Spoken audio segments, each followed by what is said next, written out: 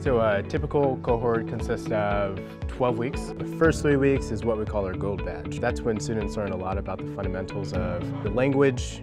The next five weeks is blue badge. That's when students start learning, okay, how do I take this knowledge of this language and translate into an application that I can build on the web. The last four weeks is really where they learn how to develop in a team my name is Laura Nahas. I am in the red badge right now. It was intriguing to me because it's so short and it's fast-paced, which I like. I'm Aiden Vandevert. I'm a red badge coder right now. Computers have always been like a part of my life and my high school that I went to didn't really offer much for that.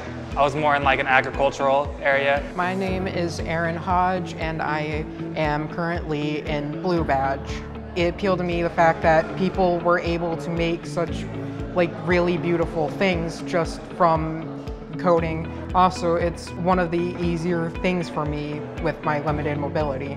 All the instructors have been great. Any resources that they have given us or shown us has been amazing. I couldn't do any of this without any of them. It's literally learning a new language, so it can be a bit rough at first, but eventually it does get easier to understand. So you just, you're in and you're out and you're just working the whole time, but it's been really exciting the whole way through.